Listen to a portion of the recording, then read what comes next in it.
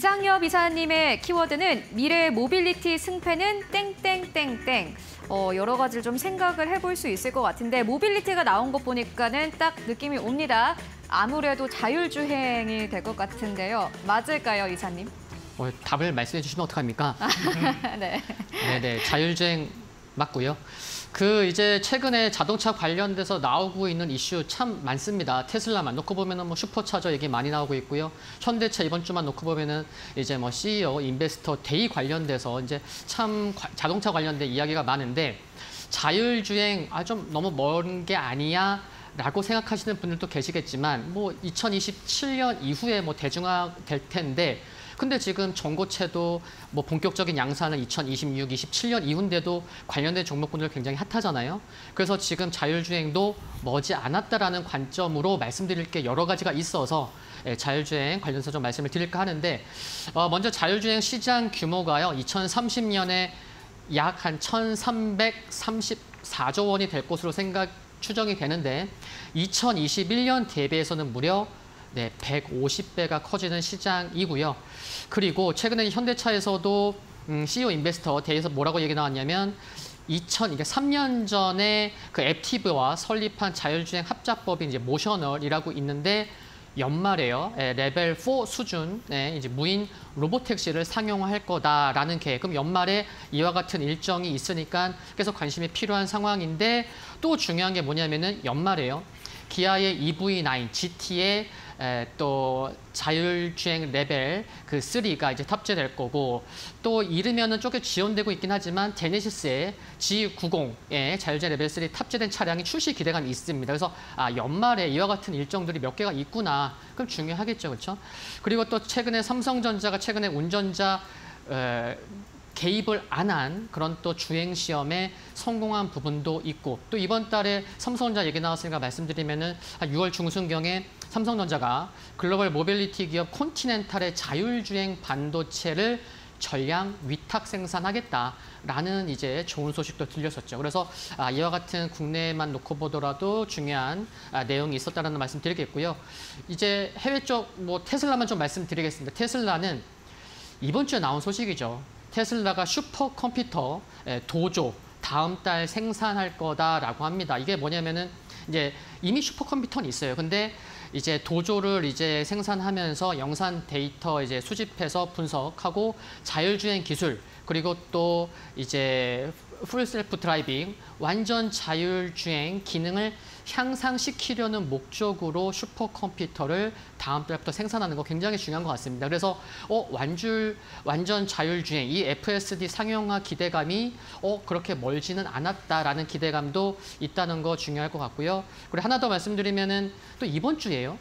또 이렇게 어 유명 해커 익명 유명 해커가 이렇게 해커를 해보니 해킹 해보니까 어 자동차에서 자율주행이 가능한 또 일론 머스크 모드가 발견됐다는 그런 영상도 있었음을 보면 아 자율주행이 그리 멀지 않고 체감상으로 가깝겠구나 그런 관점에서 자율주행 관련된 어, 이슈 또 관련된 기업들 관심이 필요한 것 같습니다. 음, 자율주행과 관련된 전략 전해주셨고요. 그렇다면 어떤 기업을 보고 계실지 궁금한데 그렇다면 관련 기업들 어떻게 좀 추려볼 수 있을까요? 네, 두 개를 말씀드리려고 하는데요. 첫 번째는 음, 시가총액이 한 2천억 원대인 기업인데 퓨런티어입니다.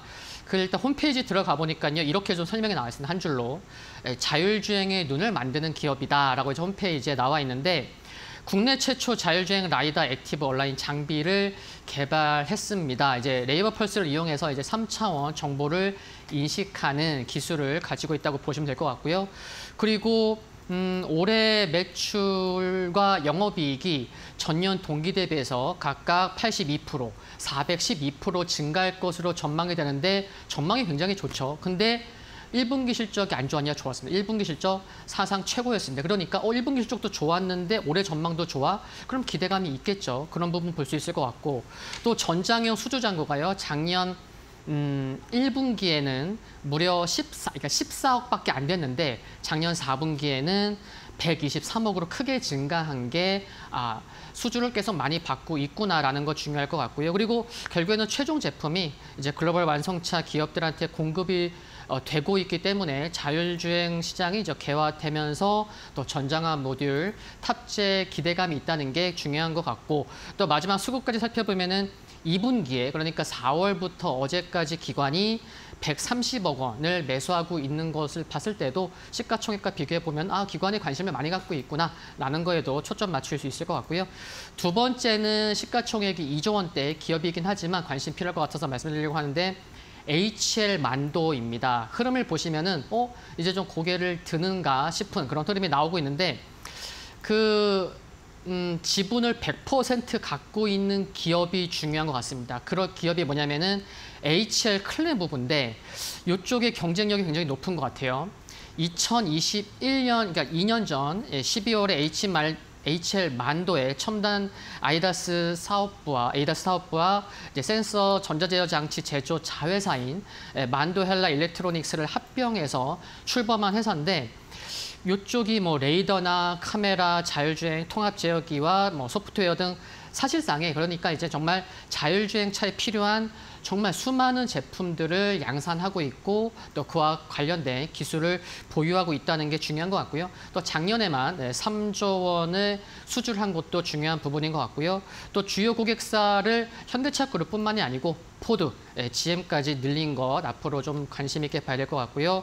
마지막으로 6월 달, 이번 달 수급만 놓고 봐도 개인만 매도하네요. 외국인이 200억 매수하고 있고 기관이 57억 매수하고 있음을 봤을 때는 앞으로의 자율주행 관련돼서도 시가총액은 작은 편은 아니지만 좀 관심이 필요한 것 같습니다. 네, 자율주행의 경우에는 일단 이번 달에 그리고 다음 달에도 여러 가지 모멘텀이 있는 상황입니다. 모멘텀적인 측면에서 봤을 때도 괜찮고 또 여러 가지 기업들 소개를 해주셨는데 퓨런티어 HL 만도까지 만나보고 왔습니다. 그렇다면 길건우 대표님께서는 관련해서 어떤 기업 보고 계십니까? 네, 저도 사실은 만도 참 좋아하는데 네. 왜냐면 이제 기본적으로 어느 정도 실적은 받쳐주는 기업들이 사실은 이 아까 앞에서도 얘기했던 것처럼 테마가 뭔가 나올 때 실적이 받쳐줘야 조금 안전하게 우상향을 할 수 있거든요. 근데 그 외적으로 본다라고 하면 사실은 저희가 자율주행 얘기할 때는 기존에 많이 얘기했던 게 아다스랑 결론은 레이다, 그 다음에 카메라 이런 쪽으로 많이 움직였어요. 근데 최근에 사실은 V2X라는 게 자율주행 레벨 3 이상을 간다라고 하면 핵심 기술이라고 생각을 하시면 될 것 같고요. V2X 같은 경우는 말 그대로 뭐 차량이나 사물 간에 이어지는 통신 기술을 얘기하는데 최근에 LG전자에서도 이제 V2X 기술에 대해서 조금 얘기가 계속 나오는 이유가 필수라고 보시면 될 것 같고요. 근데 그 중에서도 이제 V2X 기술을 조금 잘 가지고 있는 기업 중에 하나가 라닉스라고 있습니다. 그러니까 라닉스 같은 경우에는 뭐 지금 뭐 여러 가지 이슈들도 있기는 하지만 최근에 중국의 모닝커랑 자율주행 기술 협력 소식도 있었고요. 그다음에 수치상으로도 본다라고 하면 이게 24년에 상용화를 목표를 하고 있는데 25년부터 출시되는 차, 차량의 50%에 V2X 단말기가 장착될 거라는 데이터들도 있거든요. 그렇다고 하면 가장 실적이 빨리 움직이기 시작하는 건 24년 뭐 2분기, 내년 2, 3분기 이후부터 실적이 조금 찍힌다라고 생각을 하신다라고 하면 어, 시총 자체는 굉장히 작은 기업이지만 굉장히 탄력은 받을 수 있다라고 생각을 하시고 관심 종목에 한번 가지고 계셔 보시는 것도 괜찮을 것 같습니다. 네, 근데 요 기업을 보니까는 차트를 보니까는 좀 위험하다라는 생각도 들고 시가총액도 좀 작고요.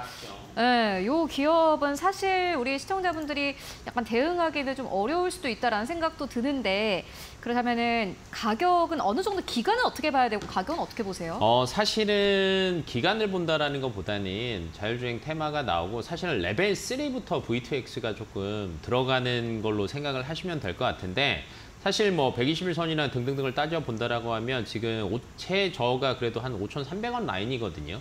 그러니까 이 이하로 빠진다라고 하면 사실은 빨리 뭐 손절하시는 게 맞다라고 보고 있고 지금 한 5,600원대인데 저는 조금 더 기다리셔도 된다라고 봅니다. 뭐 5,400원, 500원 요때 한번 노려보시고 크게 보시지 마시고 사실은 한 6,000원 정도까지 그냥 작게 작게 짧게 짧게 보시는 게 저는 맞다라고 보고 있고 지금 EV9도 사실은 레벨 3 들어가거든요.